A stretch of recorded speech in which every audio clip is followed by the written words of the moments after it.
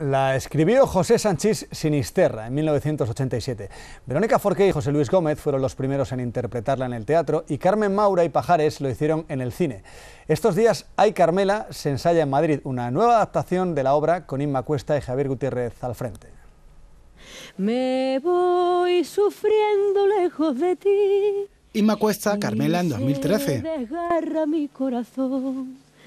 Y con el viento. Carmen Maura en 1990. Mi amargo dolor. No lo cambio. Y Verónica Forqué en por 1988. Carmela es el personaje que cualquier actriz le gustaría interpretar. Está llena, es todo corazón, es el personaje muy cómico también. Una cosa fina, una cosa bonita para que ustedes se lo pasen bien. Dices Carmela por tu madre. Pajares fue Paulino en el cine. Sobre las tablas, José Luis Gómez y Santiago Ramos. Y Juan Diego en televisión. Una, una es una última gracia. Ahora recoge el testigo Javier Gutiérrez. Habla también del coraje que, que- que- que nos mueve a las personas en situaciones extremas, ¿no? Y a estos dos personajes más que a ninguno.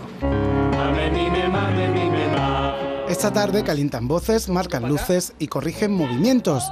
Pendiente de que esta visión diferente sobre la guerra civil funcione como un engranaje perfecto, su director, Andrés Lima.